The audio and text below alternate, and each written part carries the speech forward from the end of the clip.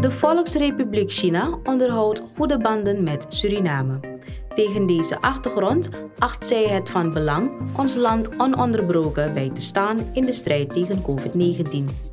In dit kader heeft ambassadeur Liu Quan op donderdag 3 september een partij Personal Protective Equipment PPE overhandigd aan minister Albert Ramdien van Buitenlandse Zaken, International Business en internationale samenwerking. Het gaat om een eh, donatie van 10.000 stuks eh, PPE aan, uh, aan de Republiek Suriname. De regering van China heeft op me meerdere momenten donaties uh, geboden aan Suriname. En die hulp wordt zeer gewaardeerd. Als met name nu in termen van COVID-19 we toch nog zien dat er uh, een extra zorg is.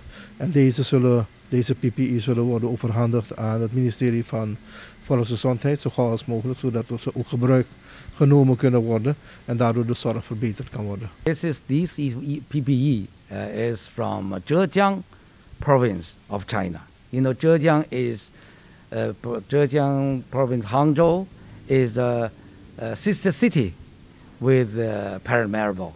So uh, they also sent this kind of a PPE from, from China. Of course, before that, we have Alibaba, we have Chinese government, we have uh, sent uh, several batches of PPEs to help Suriname. This has come from a province.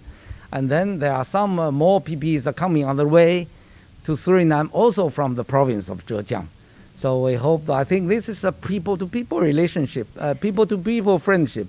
So uh, I hope that uh, this means that uh, helping Suriname not only from the government level, but from also local government level, but from the people uh, in the society.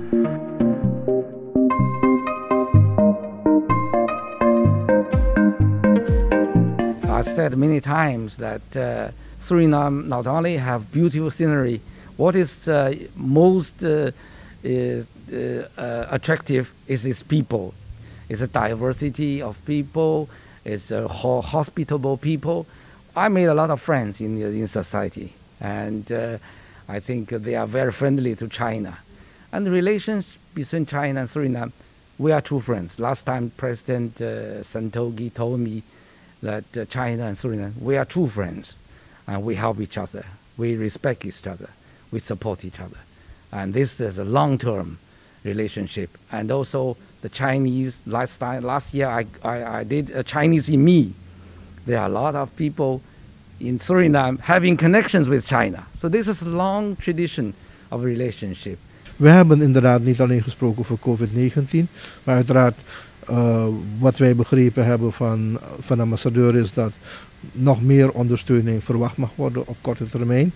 Daarnaast hebben wij gesproken over een aantal zaken betreffende de relaties, de projecten. We hebben afgesproken dat alle projecten zullen worden geëvalueerd in de komende twee weken. En daarna zullen we verder gesprekken hebben daarna over uh, de verdieping en verbreding van die relatie met, uh, met het Volksrepubliek China.